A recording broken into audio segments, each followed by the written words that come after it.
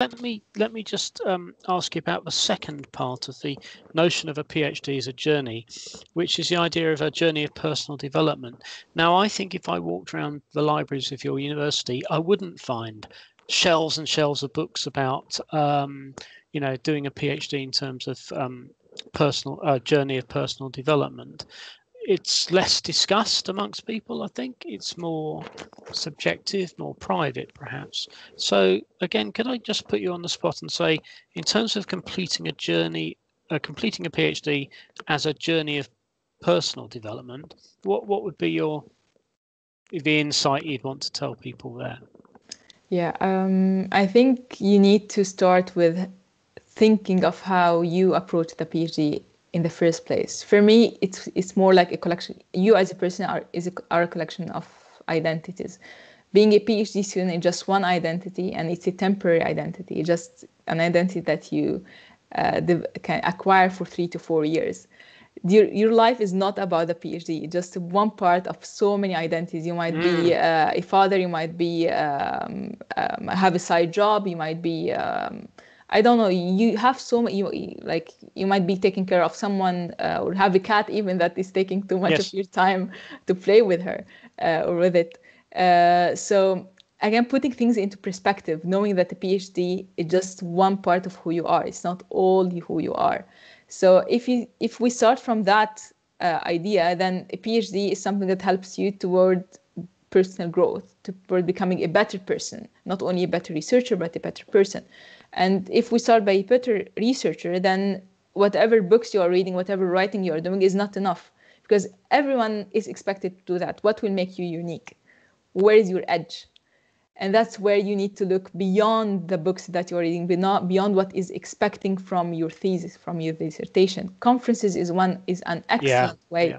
that uh, I believe pushes students, uh, PhD students, to go beyond their comfort zone um, starting from writing abstracts um, that they might not be very familiar with, uh, getting rejection uh, every other uh, day, uh, and just being resilient and apply again.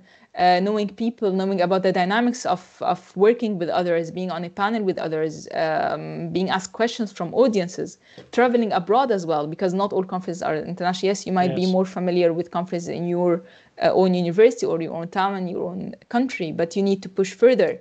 Traveling is one of the unique opportunities that you might not get after a PhD because, again, after a PhD, you are not as young as you have started. So you might have much more responsibility, whether family responsibility or career responsibility, that will not allow you to travel and to go to other places as you are during your PhD. So again, in terms of profession, uh, conferences, networking, meeting people. Again, I was very blessed, for example, to uh, to attend one of your workshops at my early stage of my PhD and to have uh, a private, not private, but like an informal meeting after that with you personally.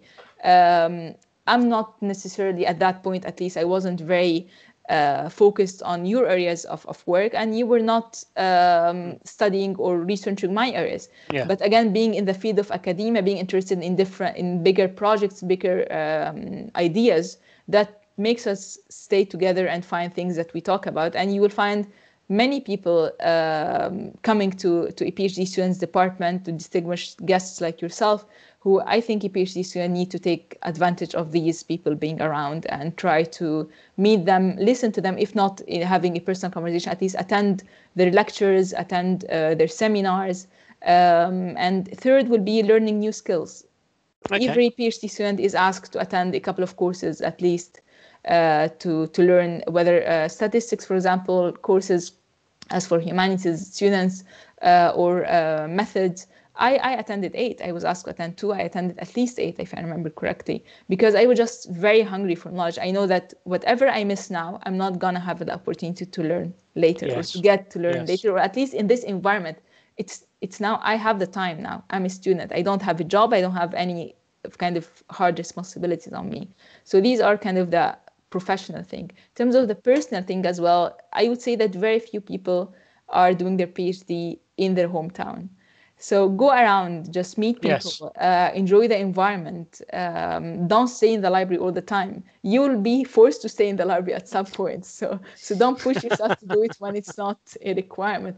Just get your laptop and study uh, in the garden or or in outdoor area. Just move around. I think that really have a lot of psychological positive impact on you advancing in your PhD because you don't feel yourself trapped into this identity. You feel that it's just Yeah. part of who I am or who I will become as a better person in the future, but it's not trapping me. So um, I think that's very helpful.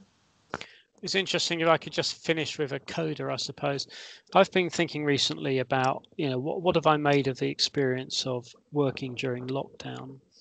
And I work at home most of the time anyway. And recently I've been working 100% at home and it's fine. But there is one thing I miss out on, which is, I think, ser- serendipity, which is when you do things like go to run a workshop like the one you mentioned, you get to meet people. You know, people say, "Oh, by the way, while you're here, let me just introduce you to so and so," and you also acquire information. You know, you pick up a Mhm. copy of a newsletter that's lying in the foyer, or you read some posters on the wall. And I don't think there's any equivalent to that in Zoom. Yeah, I, I completely agree. Well, thank you. I, I really appreciate it. I, I think the, the insights you've given us are varied and, and very rich as well.